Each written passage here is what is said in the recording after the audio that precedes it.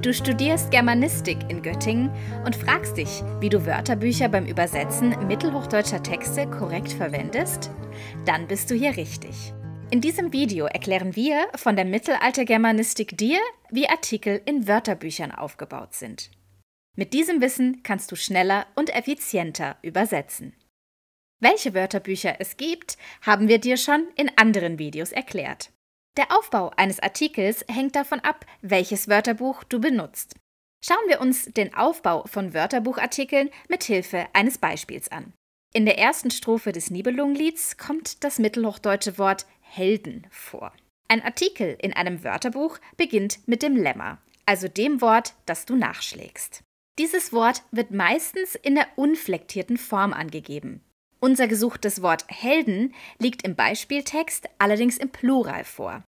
Wir müssen also zunächst den Nominativ Singular rekonstruieren. Dieser lautet Held. Unter dem Lemma Held findest du im Taschenlexer folgenden Eintrag. Nach der unflektierten Form Held wird die Genitivendung des angegeben. Diese lässt erkennen, dass in der Nominativform Held eine Auslautverhärtung vorliegt. Außerdem wird das Substantiv im Mittelhochdeutschen stark flektiert, während der Genitiv im Neuhochdeutschen des Helden lautet. Darauf deutet das folgende Kürzel im Taschenlexer hin. STM ist die Abkürzung für ein starkes Maskulinum. Vor den Bedeutungen stehen also erst einmal grammatikalische Informationen. Im mittelhochdeutschen Handwörterbuch von Matthias Lexer ist der Artikel zu Held noch um einiges länger. Denn nach dem Lemma, der Genitivendung und der Flexionsart werden die Textzitate aufgelistet, die für ein Belegwörterbuch typisch sind. Diese Zitate aus mittelhochdeutschen Primärtexten bieten eine repräsentative Auswahl relevanter Bedeutungen. Sie sind jeweils mit Abkürzungen versehen, die kenntlich machen, aus welchem Primärtext die Belegstelle stammt. Wenn du den Online-Lexer benutzt, kannst du einfach das Kürzel anklicken, um den kompletten Titel zu sehen.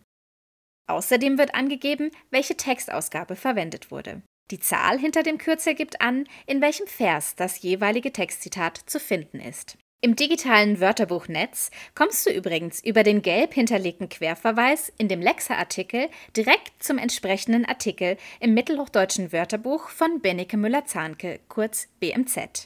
Der BMZ-Artikel ist ganz ähnlich aufgebaut wie der im Lexa, weil der Lexa als Ergänzung zum BMZ gedacht ist. Manchmal stehen die wichtigsten Grundbedeutungen deshalb nur im BMZ und nicht nochmal im ergänzenden Lexer. Im BMZ-Artikel zu unserem Beispielwort Held gibt es noch mehr Belegstellen aus dem Nibelungenlied. Daran kannst du schon auf den ersten Blick erkennen, dass das Substantiv Held in diesem Heldenepos ein äußerst wichtiges ist.